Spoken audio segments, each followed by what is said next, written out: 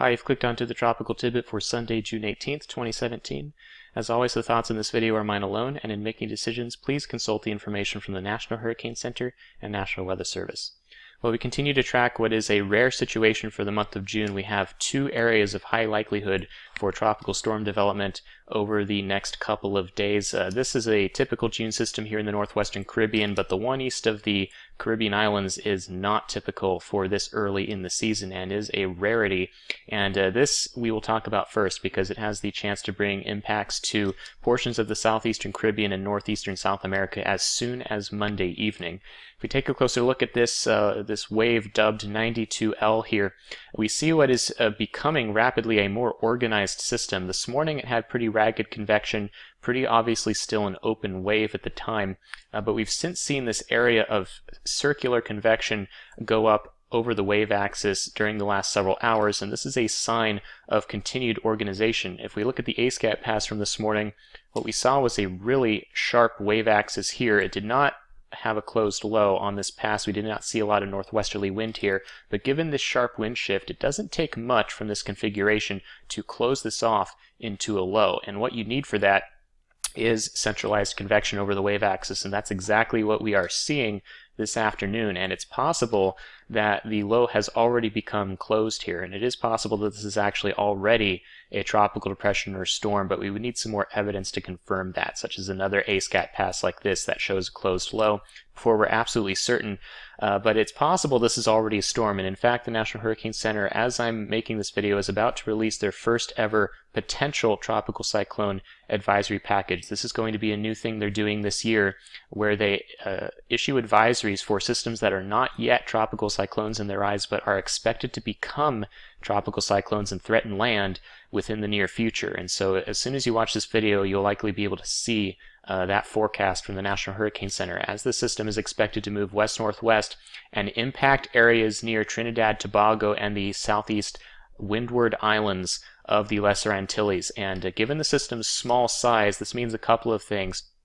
One is that with a structure like this, it has the potential to strengthen quickly before it hits unfavorable conditions over in the eastern Caribbean. If we look at the microwave pass here, you can see this really small ball of convection it has. This kind of structure, though, with this little this little curling that you can see here, this, this ever so slight evidence of curvature here, indicates that if there's a low forming here with this convection around it, is something that could potentially spin up rather quickly, and so we could see a moderate to strong tropical storm form relatively quickly.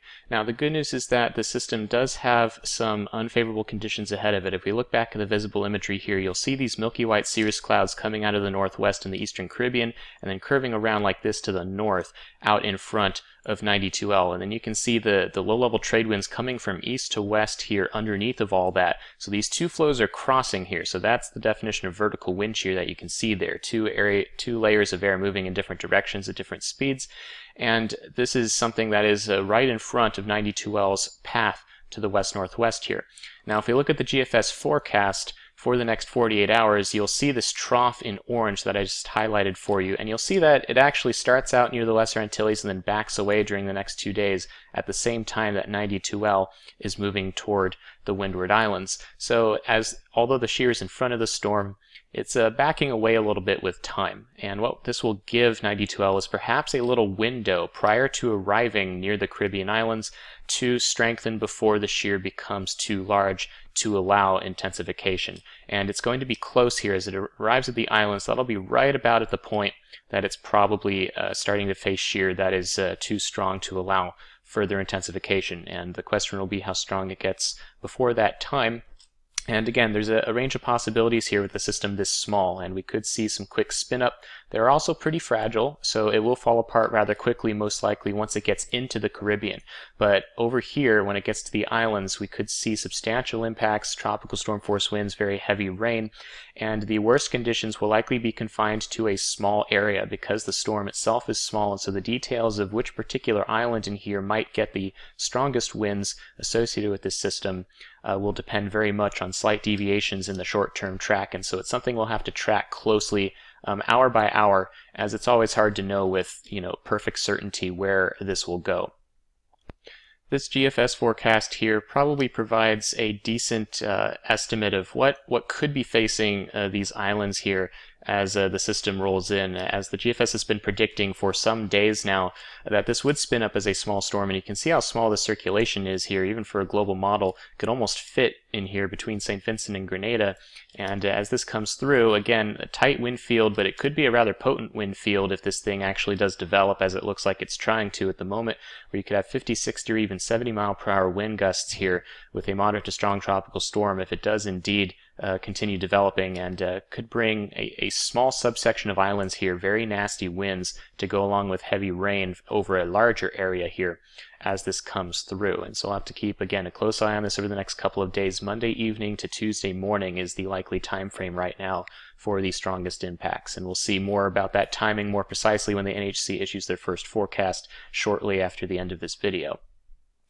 Now moving on to the other system that we're watching in the Atlantic. This is Invest 93L, and this is more of concern for the United States and the Northwestern Caribbean. Here we continue to see what is still best termed a giant mess here. What we have is a large area of rainfall that has been occurring from Jamaica to the Caymans to Cuba over the last 24 hours, and uh, a very east-weighted system. Now, you might want to say that the system center is right here because you see some spin on the satellite, but don't be fooled. This is still a mid-level center with no basis at the surface, and uh, this happens a lot in convection in the Caribbean where you get these these spinners in the mid-levels, but they usually don't. Nothing much usually comes of them. The actual surface low has been northeast of Belize today. That's where this was. It's starting to open up now into this larger scale sharp trough axis in here. You can see the winds coming out of the northeast over the Yucatan, out of the southwest over the western Caribbean, and this trough axis here is going to be gradually rotating toward the west northwest such that tomorrow you'll likely see some kind of trough that looks like this. And what we're going to see perhaps is a secondary low try to develop up here in the northern end of the trough, and then whatever low is still sitting down here will gradually dissipate with time as this northern one becomes dominant. And uh, this has been forecast pretty well by the models in the last couple of days, but they disagree still rather heavily on what becomes of the new low up here northwest of the Yucatan Channel tomorrow and the next day, uh, and which direction it tries to go in the Gulf of Mexico is still up for debate. If we look at the European model, we'll see out to Tuesday morning here uh, that the our trough axis has again rotated up like this, and our new low has formed on a northern end of the trough, and it is now moving in the northwest, west-northwest direction on the Euro, and it continues toward the general area of southern Texas. Now compare that to the GFS, which at the same time is located farther northeast with the trough faster toward the north and is moving in the general direction of the western Florida panhandle. And uh, this has been the, the split between the two models in the last couple of days. There are some models that support both solutions. Now, the question, of course, is which one will be more correct. Uh, it is worth noting that we have a very difficult steering pattern forecast for this system. This is out to Monday morning on the GFS of 500 millibars, and approximate steering level here. We have a big high nosing in over Texas. So you have a high, you have a big trough over Canada, you have another Bermuda Ridge out to the east, and then you have low pressure again over the Gulf of Mexico. And this is what we call a col, C-O-L, uh, this area in between these two lobes of low pressure and two lobes of high pressure, and this is where steering currents are quite weak. And this area near the North Gulf Coast has a very weak steering currents, and it's difficult to tell often where exactly a system like this will go. Will it take the eastern flank of the uh, eastern or the western flank of the eastern ridge and move northeast, or will it get trapped underneath this ridge to the west and move toward the west or even southwest at some point? The wild card in all this is actually this cutoff upper low here. If we look at the uh, water vapor imagery, uh, we'll see this trough sitting over the Gulf of Mexico. And this here is going to be spinning away, cutting off, and then backing toward the southwest toward Mexico during the next couple of days, which will allow an interaction potentially with 93L and whether or not these two end up rotating around each other and pulling this west is something that the European has been forecasting more than the GFS. As of recent runs, the GFS has been getting these two to interact a little bit more and trending slightly toward the European's view of things and trying to drag this a little farther west toward um, the middle of the Gulf Coast before getting yanked northeast or this way. Uh, so if there's any kind of trend at the moment, it's probably the GFS a little bit more toward the euro, but there's still quite a split here. The overall message, however, is that regardless of where this goes in the Gulf, it's going to be a large and spread out system and highly sheared. Again, because of this trough, you can see all this southwesterly flow here over the Gulf of Mexico. This is going to continue pushing most of the precipitation and wind to the east of the low. Remember, the low is currently right about here, and yet all the action is really to the east of the center. As this moves up into the Gulf of Mexico, you'll see a lot of rain on the eastern side and then starting to wrap around on the northern side as well. So you'll have a low here, and then uh, the east and north sides will have all the weather, and it will be over a large area. So in a sense, whether or not this goes into Mississippi or Louisiana or Texas, uh, you could still get rainfall in the same areas in in any of those tracks. Of course, some areas like the Florida Peninsula will only get rain if the system moves sufficiently far east, but areas like Louisiana and Mississippi may get rain regardless of whether the European or GFS is correct. And so that will be the primary threat here is this large area of uh, torrential rainfall that could develop anywhere from Florida uh, to Louisiana and perhaps even Texas later on as well if this uh, does indeed go pretty far west as the European suggests.